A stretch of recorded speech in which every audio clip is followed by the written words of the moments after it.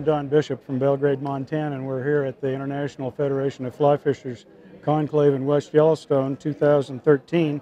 I'm tying up some chironomids that my buddies in Washington State like to use on those prairie pothole lakes for those big triploid uh, trout. And um, basically, these are midge imitations that in a fertile lake will grow to some pretty substantial size limitations that you, you would not ordinarily think of for a midge. But uh, given the right circumstances, you'll get some, some pretty darn big bugs. And as you'll see, I'm, t- I'm tying here a, uh, a 14 natural bend hook that uh, is going to sink. I put a tungsten bead on it, uh, which may be more bead than you really need, but uh, it's kind of nice for for purposes of, of demonstration. And I've got uh, two different materials here that I'm going to wind back side by side. One is just a, uh, uh, a fine, a, a small uh, red wire, and then the other is this clear stretch magic that you can get at a, uh, at a craft store. It's very inexpensive. You get uh, 32 feet at a time, and that's, that's going to do you an awful lot of flies. And and particularly if you uh, spend some time working on these uh, working on these flies, getting them set up, you'll find that you build a fairly bulletproof fly. I'm going to try rewinding that.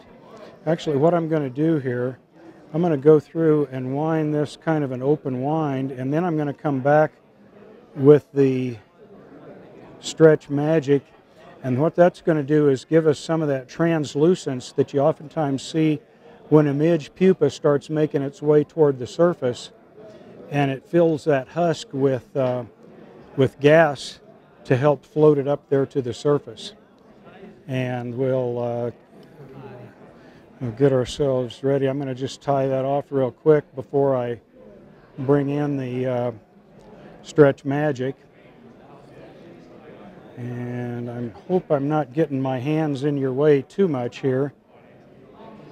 Now I'm just going to try to come in between those wraps with this stretch magic and you can see that gives some substantial segmentation to the fly and also allows some of that red to show through and and the midge larva and the early pupal stage oftentimes have a significant amount of hemoglobin, just like our red blood cells.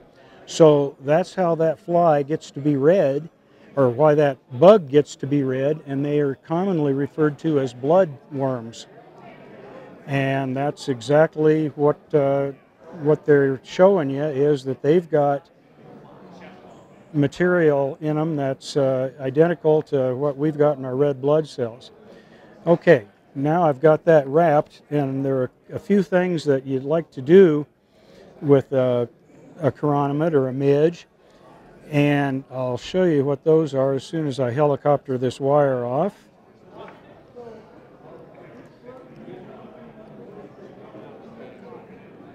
Hmm, I must have gotten a pretty good piece of, there we go.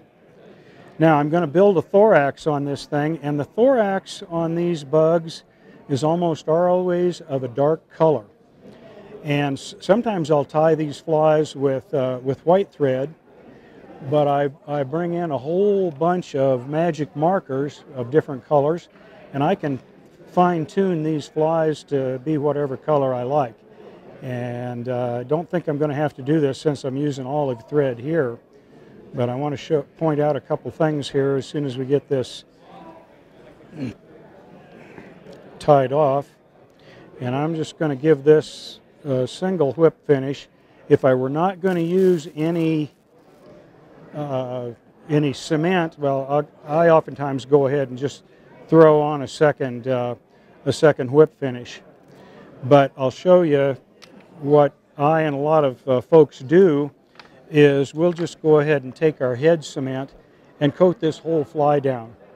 And by golly, when you do that, you're going to have a fairly bulletproof fly.